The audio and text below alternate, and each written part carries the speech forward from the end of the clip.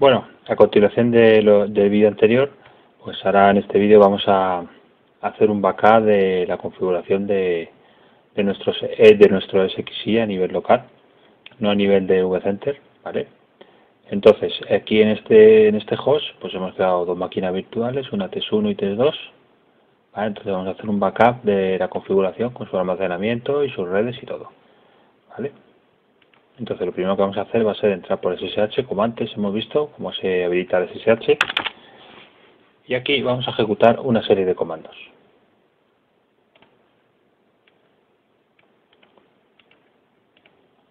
El primer comando que vamos a ver es este de aquí, bitcmd, y este de aquí eh, lo que hace es coger y hacer una sincronización para, eh, digamos, consolidar los datos que tiene el, el SXI, por si acaso hay algún dato que todavía no se ha terminado de guardar en la configuración, pues lo que hace es consolidarlo, ¿vale? Entonces, ejecutamos este comando, ya lo tenemos consolidado.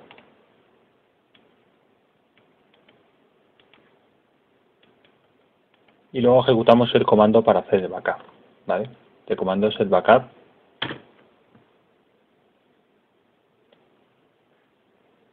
Y este comando lo que hace es crearnos un enlace y este enlace directamente abrimos un navegador. Vamos a abrir este mismo.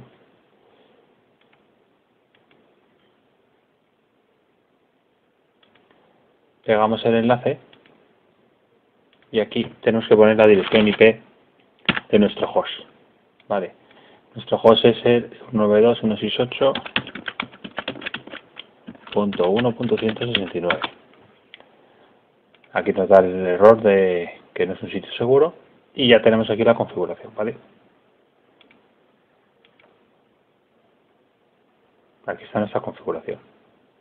Entonces esta configuración, este fichero de configuración, ahora lo que vamos a hacer va a ser subirlo a nuestro XI. De tal manera que si, bueno, no lo vamos a subir de momento porque no vamos a hacer la restauración, primero vamos a romperlo, ¿vale? Y luego lo restauraremos. Aquí ya tenemos nuestro backup y ahora lo que vamos a hacer va a ser eh, hacer una picia para que no arranque en nuestro XI. Tenemos que meternos en administrar. A ver dónde estaba esto, paquetes, no, perdona, eh, sistema, configuración avanzada. Y aquí vamos a buscar, vamos a poner mensaje, mensaje, ¿vale? Es el mensaje de bienvenida. Entonces lo que vamos a hacer va a ser eh, modificar el mensaje de bienvenida.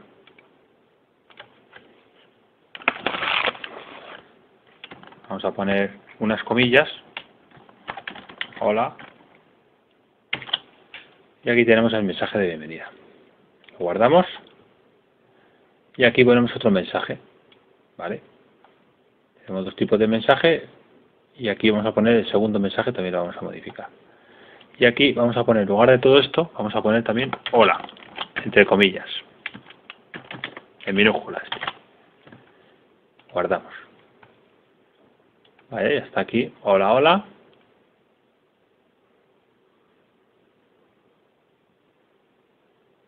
Y ya se ha guardado. Vale, entonces ahora lo que vamos a hacer va a ser, mira, ya está. Directamente al darle a guardar ya nos ha hecho la picia, ¿vale? Aquí vemos que al meter entre eh, el mensaje entre comillas, lo que hemos hecho ha sido que el archivo de configuración de SXI nos impida entrar en la consola. ¿Vale?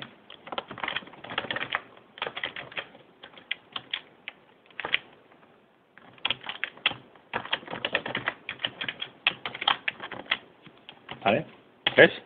Hemos entrado a la consola pero sin embargo no nos deja hacer nada.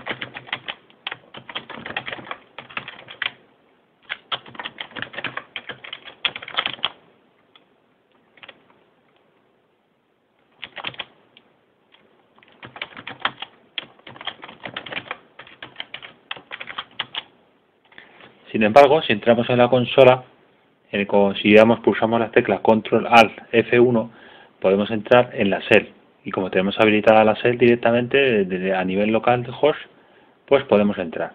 ¿Qué pasa si tenemos deshabilitados los puertos USB? Pues que no vamos a poder entrar en esta pantalla. Entonces, eh, si hacemos eso de las comillas, lo que tendremos es una consola en la que nos ponga el mensaje y no vamos a poder acceder. Y si tenemos encima bloqueado el USB, si entramos en esta consola, tampoco vamos a poder acceder. ¿Vale? Y esto es un ficherito que está en Ware creo que se llama, a ver.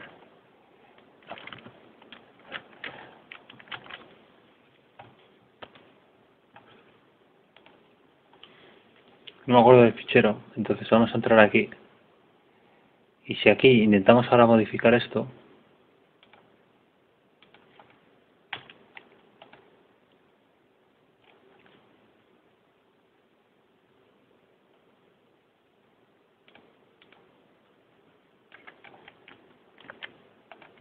va a dejar, ¿vale?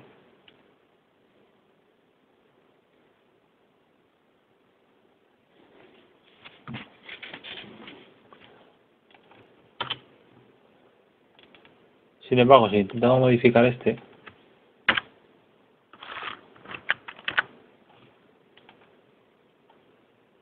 nos va a dar un error, ¿vale? No se puede cambiar este este este fichero. ¿Ves? Nos va a dar un error, ¿por qué? Porque al tener eh, la doble comilla, eh, o sea, al tener comillas, está el mensaje entre comillas, dentro del fichero le pone otras comillas aún, entonces se pone como doble comilla y ya no ya el fichero se digamos que se corrompe. Entonces para recuperarlo tenemos que meternos en SSH. A ver, aquí está el fichero. ¿Vale? Aquí este, este fichero de configuración diagnóstico dice que error al leerlo. Config parse 1944, que son las las filas que no puede leer. ¿Vale? Dice forward slash expect. Entonces, si nos metemos en este fichero, etc, bla, bla, bla, lo copiamos, entramos por SSH, pues podemos verlo.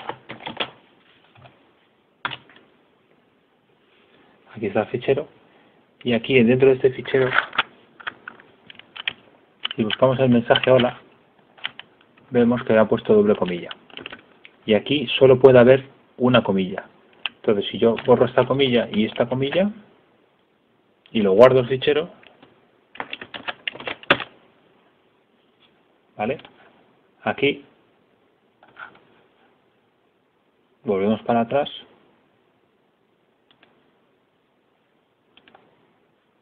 configuración avanzada vemos que tiene la doble comilla editar igual no me deja cambiarlo pero si reinicio el servidor me va a dejar. Mira, ya ya me ha dejado. ¿Vale? Vemos aquí que se completó el comando correctamente. Si damos aquí a actualizar, ponemos aquí mensaje, vemos que ya tenemos los dos. ¿Vale? Pero ¿qué pasa si tú no tienes el SSH habilitado? Justo haces este cambio, ¿vale? Pones este cambio, este hola aquí en, en este de aquí, en este mensaje. Pones hola entre comillas y tienes bloqueado los puertos USB por seguridad no podrías entrar aquí y teclearlo y le saldría aquí el mensaje de hola ¿vale? y no podrías acceder por SSH y editar este fichero y modificar este fichero ¿vale?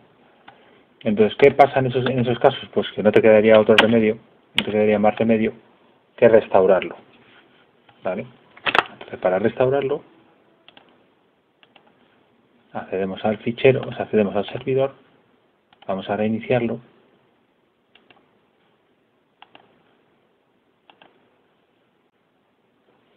Vale, y una vez está, como se está reiniciando, a ver si me deja, para que lo veáis aquí, bajar la barra, cuando se esté reiniciando, veréis que aparece a la derecha abajo eh, Shift más R para entrar en el modo recuperación. ¿Vale? Como yo antes he hecho un trade pues tengo un modo de recuperación y van a aparecer dos versiones, ¿vale? Voy a darle a, a, R y aquí aparecerán dos versiones. ¿Vale? El banco 1 dice la versión, eh, banco 5, perdona, dice la última versión y banco 6 dice la versión anterior de la que he actualizado. Solo te guarda dos versiones. Si, yo he empezado con la 7.00, pero solo te guarda la anterior versión. Entonces hay que restaurar a la anterior versión, porque no te queda otra. Aquí ya los USB no están bloqueados porque te arrancar arrancado el SXI. Entonces podría restaurarlo. Vamos a restaurarlo. Decimos que y le damos a Y de Yes. Y lo que va a hacer va a ser volver a un estado anterior del SXI.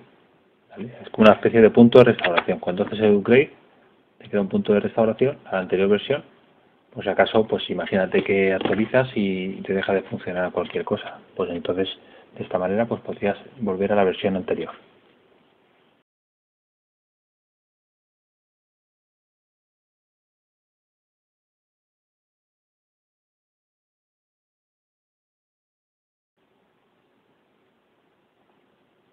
Vale. Una vez que termina, pues vemos que ya no sale ningún mensaje de error ni nada de eso. ¿Vale? No, no, ni mensaje de bienvenida, ni hola, ni nada. Entonces aquí nos volvemos a conectar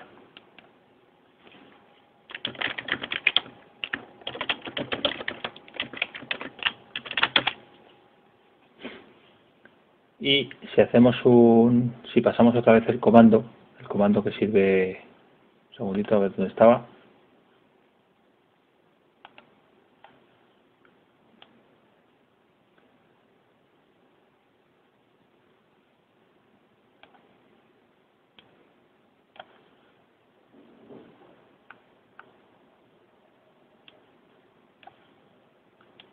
si volvemos a ejecutar el comando que nos dice la versión nos va a sacar la versión que teníamos antes, la 7.01. Aquí la tenemos. Vale, entonces para recuperarlo completamente el SXI, lo que tenemos que hacer es volver a lanzar el mismo comando que hemos lanzado antes, y como tenemos un backup de su configuración, volver a cargar otra vez la configuración para que esté como antes.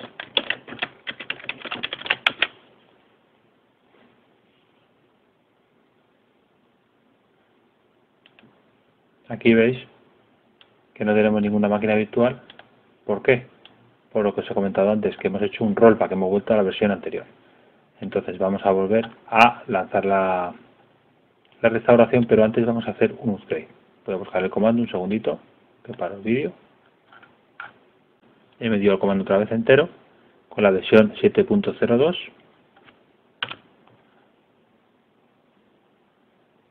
Paramos el vídeo porque esto también tarda bastante.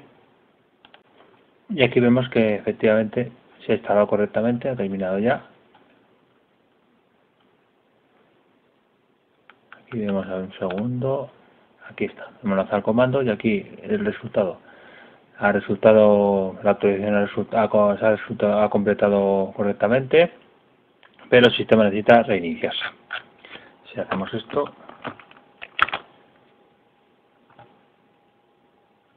nos dice la versión que estamos, los paquetes que ha actualizado, y nos dice que estamos en la versión 7.01, porque todavía no lo hemos reiniciado. Entonces vamos a reiniciarlo. Vale, una vez iniciado, pues ya podemos ver directamente en la, en la pantalla principal, pues que ya nos pone que es la versión 7.02. Si nos volvemos a conectar por consola,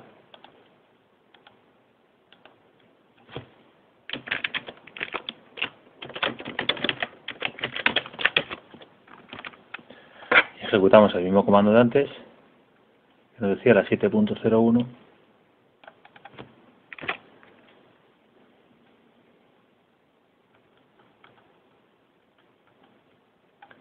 va a decir la 7.02. Aquí está. ¿Vale? Entonces, ahora, ¿cuál es el problema? El problema que hay es que si nos metemos aquí, Volvemos otra vez a logarnos.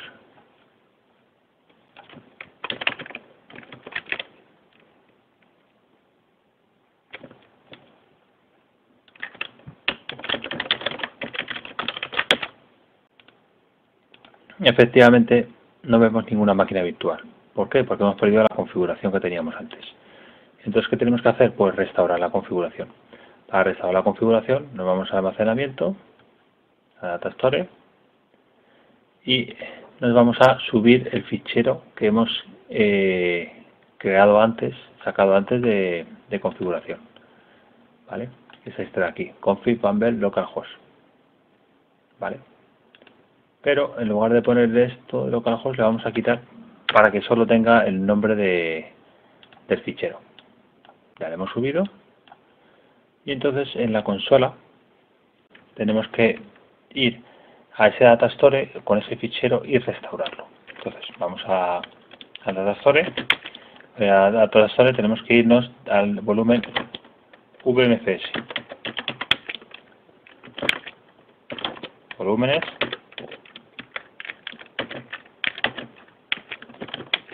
Aquí tenemos un montón de volúmenes, porque como he creado varios discos, varios datastores, pues tenemos varios. Entonces, ¿cuál es el cuál de todos ellos es? Pues tenemos que meternos donde hemos subido el fichero y buscar el UUID, que es este de aquí. Entonces vemos que es 61099 y luego empieza por 27C5. Vamos a la consola.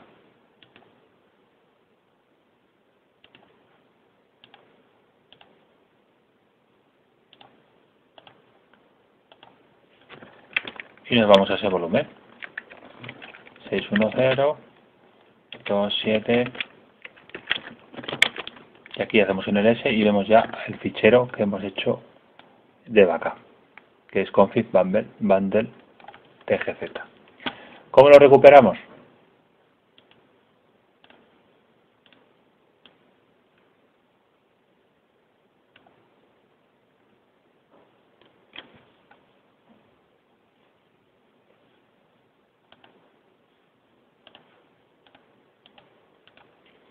¿Cómo lo recuperamos?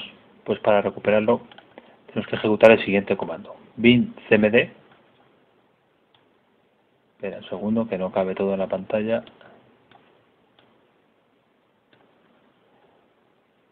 bin cmd host svc firmware restore config. Y aquí, donde pone backup location, pues no tenemos que poner nada porque está en el mismo directorio.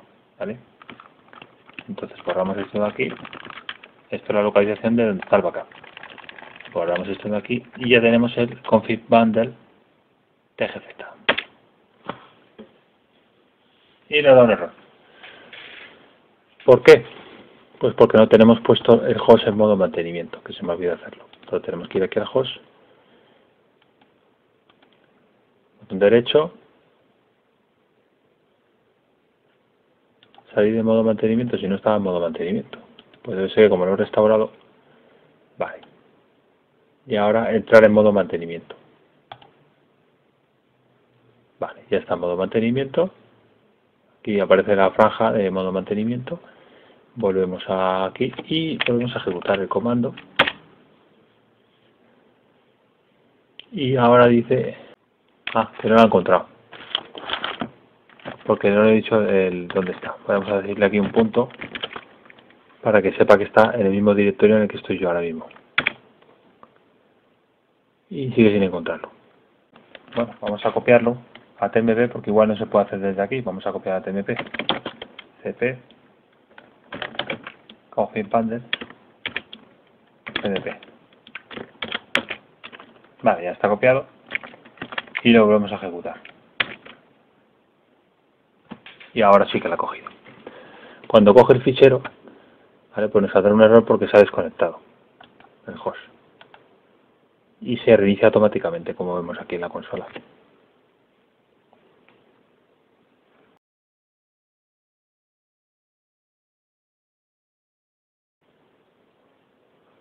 Vale, una vez que ha arrancado, pues nos volvemos a logar.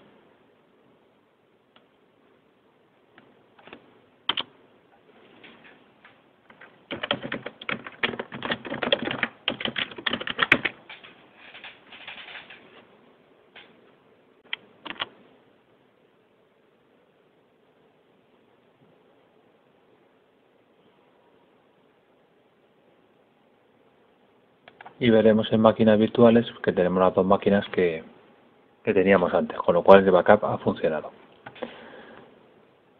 Y nada, eso es todo. Así es una manera de, de recuperar los SXI.